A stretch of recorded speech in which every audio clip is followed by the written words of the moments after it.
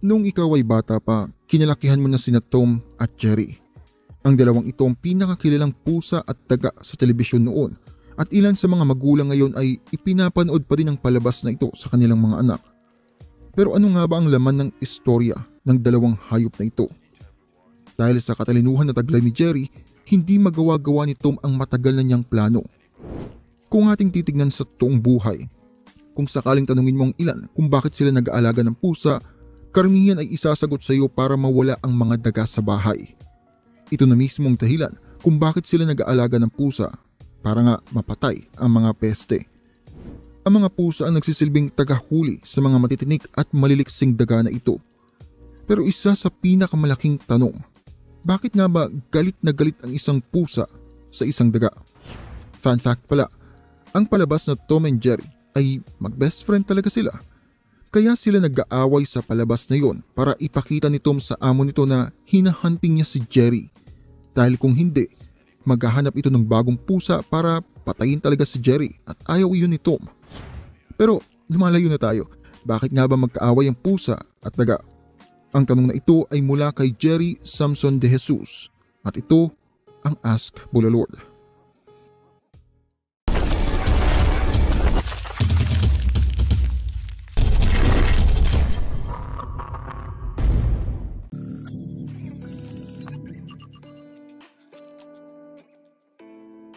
Unahin na muna natin alamin kung ano bang ugali ng mga pusa. Kilalanin natin ng maigi ang mga natural na bagay na kahit hindi nila kinalakihan, ang ugali na ito ay nakakabit na sa kanila mula noong sila'y isilang sa mundo. Ayon sa ilang research, noong nagsimulang maging alaga ang mga pusa, ang mga ninuno ng mga cute at makukulit na nilalang na ito ay minsan ding nabuhay sa wild noong unang panahon. Ayon din sa mga pag-aaral, ang mga pusa at iba pang lahi ng mga hayop na ito ay pinanganak bilang natural hunters. Ibig sabihin, nasa kanilang dugo ang paghanap at pagpatay ng kanilang makakain. Kahit palakihin mo pa ang iyong alagang pusa sa mga masasarap na pagkain, hindi nito mapipigilan na pumatay ng ilang mga hayop, insekto at iba pang maliliit na nilalang. Lumabas sa isang pag-aaral na ang mga pusang lumaki sa wild, sa loob ng tahanan at kung saan saan pa ay mahilig pa ring manghuli at pumatay kadalasan ng mga ibon at maging daga. Lumabas na halos bilyon ang namamatay na maliliit na hayop dahil sa mga pusa. Dahil sa kanilang natural instinct na mula sa kanilang ninuno, ito na mismong dahilan ng pagpatay at pagkain nila sa kanilang nagiging biktima. Pero ayon din sa ilang pag-aaral, karamihan din sa mga pusa ay hindi kinakain ang kanilang napapatay na hayop kung naman ay hindi talaga pinapatay ang mga ito, iniiwan lang nila ng duguan. Para sa kakaunting kaalaman, laganap sa Amerika ang pagtanggal ng kakayahan ng isang pusa upang makapagparami. Ito yung pagiging sterile. Sa atin yung kinakapon, pero yung pagtanggal ng balls ng aso yun.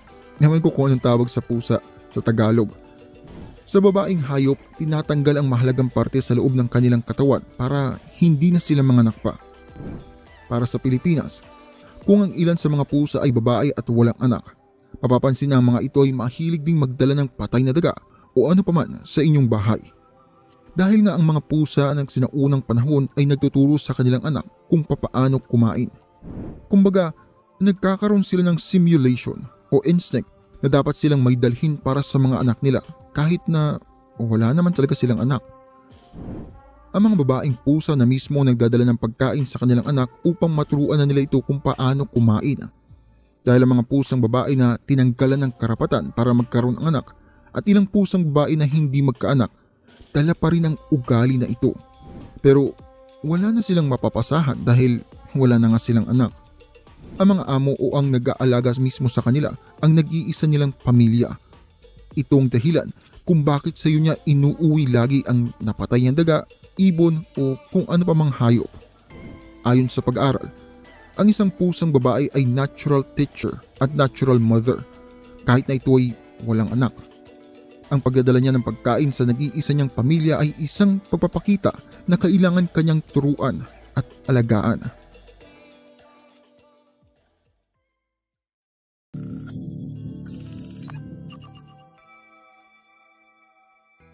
Gusto mong mawala ang peste sa bahay mo o isang daga, mag-alaga ka ng pusa.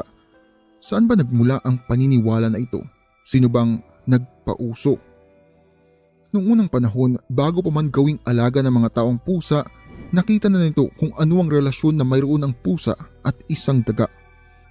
Mula sa ilang pag-aaral patungkol sa history ng mga pusa, ang kakayahan nito na manghuli o magpawala ng mga peste ay nagsimula nung mapansin ng isang magsasaka mula sa Eastern Mediterranean ang isang pusa na nanguhuli ng daga sa kanyang bodega na puno ng kanyang ani. Mula noon ay kumalat na na ang pusa ay nakakatulong upang mabawasan ng peste sa mga pananim. Nagsimula din ang ilang mga pamilya na mag-alaga at magkupkup ng isang pusa sa kanilang tahanan. Pinaniniwalaan din na mga Vikings at iba pang mga manlalayag ay nagsasama ng pusa sa kanilang barko para mahuli ang mga dagang namimeste sa kanilang mga nakatabing pagkain. Dahil nga ang mga nakakain at maaring kalabanin ng pusa ay ang mga maliliit na nilalang. Ito na mismong dahilan kung bakit isang mga daga sa madalas nilang pinag-iinitan sa tuwing ito ay kanilang nakikita. Hanggang sa panahon ngayon, naniniwala mga tao na ang pusa ang sagot upang mawala ang peste sa tahanan.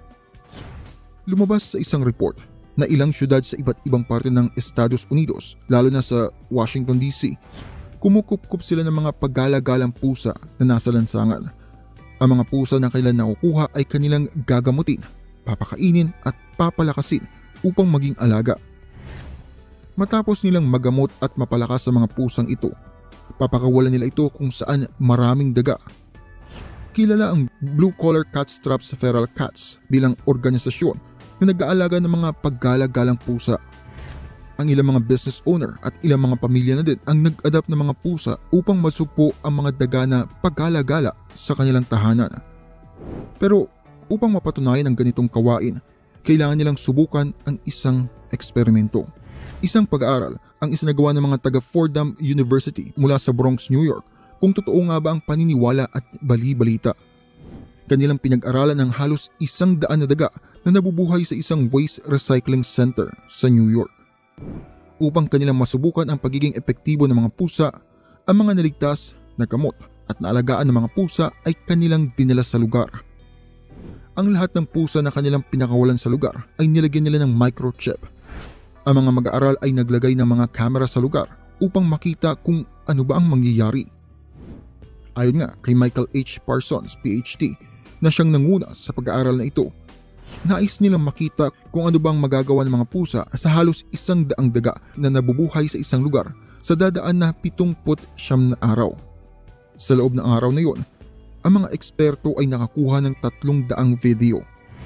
Ayon sa report patungkol sa pag-aaral, sa kada dadaan ng araw, halos tatlong pusa lamang ang gumagalaw at nagbabantay sa pinakakuta ng mga daga.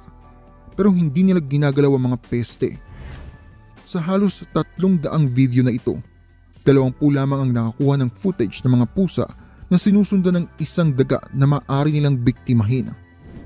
Tatlong pusa ang nagtangkang makapatay ng daga sa loob ng 70 siyam na araw. Dalawa lamang ang napatay ng mga pusang napakawalan sa lugar. Doon ay nakita nila na napatay lamang ang daga dahil nasundan ito ng pusa sa mismong lungga na kanyang pinagtataguan. Ang isa sa kanilang nakuhang video ay isang pusang hinahabol at binabantayan ng daga. Pero di kalaunan ay nawalan din ito ng gana at pinabayaan na lamang ang daga. Ayon sa mga eksperto, sa pagpapakawala nila ng pusa sa lugar, mayroon itong nagawa sa mga daga. Kahit na sabihin natin na dalawa lamang ang napatay ng mga pusa, nagawa ng mga pusa na baguhin ang ugali at pamumuhay ng mga daga.